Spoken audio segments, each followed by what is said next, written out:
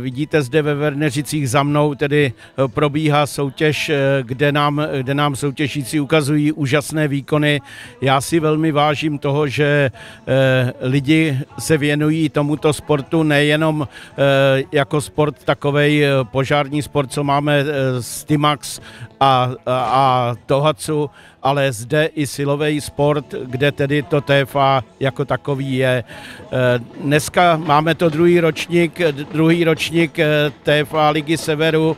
Eh, první ročník eh, zajišťoval a hlavně celou akci organizuje Matěj Prošek z SDA Klapí. Já si toho velmi vážím a přeju soutěžícím, ať eh, se jim daří a předvedou nám ty nejlepší výkony. Ať my, ať my účastníci a, a vlastně návštěvníci vidíme ty nej, opravdu ty nejlepší výkony. Tento seriál soutěží je vlastně třetí zde v Ústeckém kraji po Tohacu, který už máme desátý ročník z eh, Timax Cupu, kde už máme devátý ročník, tak druhý ročník TFA Ligy Severu.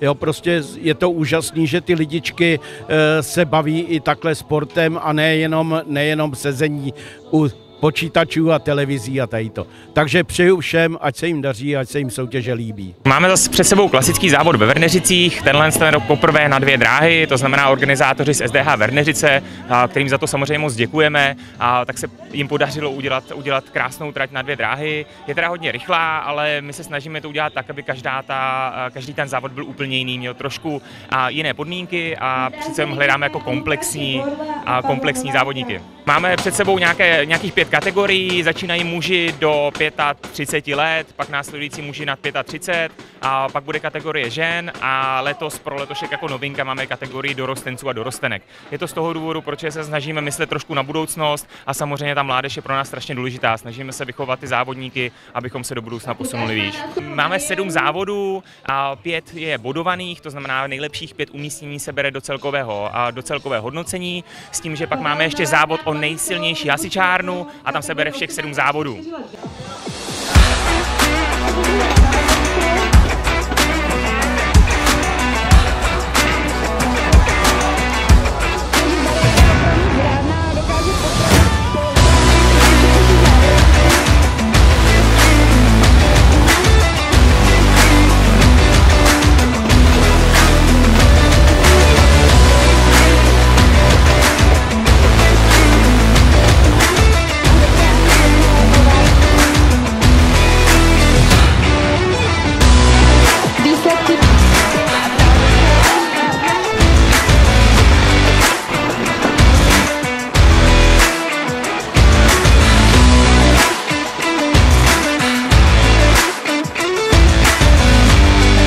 Pro agenturu je web zavraný Verneřice.